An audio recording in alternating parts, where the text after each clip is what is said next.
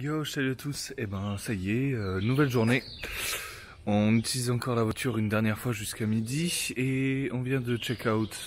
Enfin, on est en train de le faire. Je suis en train de le faire là. Check out la guest house. Cet après-midi, malheureusement, il y aura rien de spécial parce que on a deux vols internes en fait. Donc euh, là, on est tout au nord, nord, nord. Et ben, on va prendre un avion pour retourner à Bangkok et après, on fait Bangkok, Phuket. Voilà. Et là, donc, il est 7h du matin. Non, même pas. Il est un peu moins de 7h du matin, c'est levé à 6h. Pour aller au Temple Blanc. Temple Blanc qui est extrêmement prisé par tous les photographes du monde entier. Et par tous les touristes aussi. Parce que c'est un temple euh, qui, pour le coup, change beaucoup des autres temples bouddhistes qu'il y a euh, dans, tout, dans toute la Thaïlande. Il est magnifique, c'est évidemment un incontournable à voir comme euh, le grand Bouddha. Enfin, les gens l'appellent le Big Buddha, mais en fait c'est la déesse, la déesse de quelque chose, de prospérité. Non, je me souviens plus. Bon, c'est la déesse de quelque chose. Cette grande statue qu'on a vue hier. Voilà, c'est un incontournable à faire dans la région. C'est même quasiment un peu pour ça qu'on est venu, parce que sinon à Chiang Rai, euh, mis à part le marché, il y a rien à faire la nuit, tout est vide, tout est désert. Mais les temples sont vraiment très beaux. En tout cas, voilà, l'aventure au nord maintenant c'est fini. Enfin, quasiment fini. Hein. Et après on part dans le sud. Et là, on a hâte. Pour les plages paradisiaques aussi, ça va être assez sympa. Bon, et ben, euh, let's enjoy euh, cette dernière journée.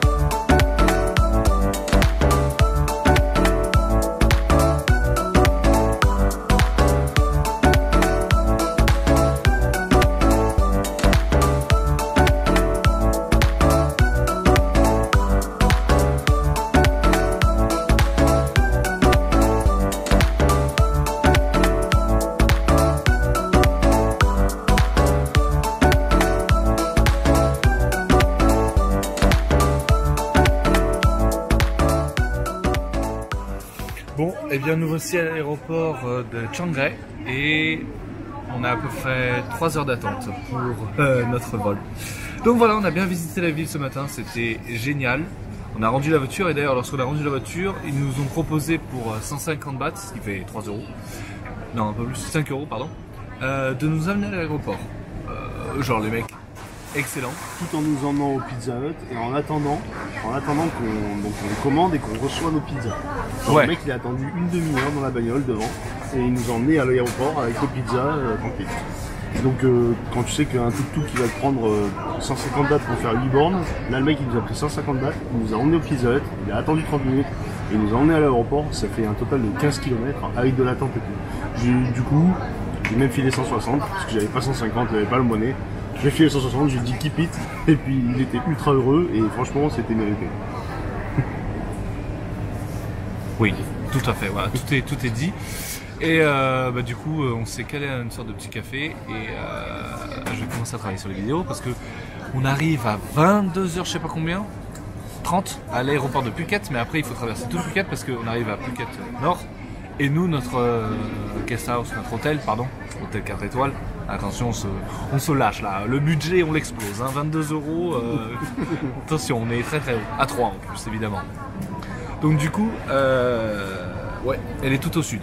Donc va falloir prendre un tuk-tuk qui va nous escroquer. Et Guigui va râler là. Et il est concentré dans son téléphone.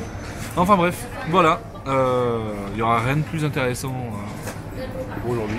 À, montrer aujourd'hui, mais euh, de toute façon, là vous allez voir vite fait deux trois euh, vidéos de transport et après, lorsqu'on arrivera à l'hôtel. Let's go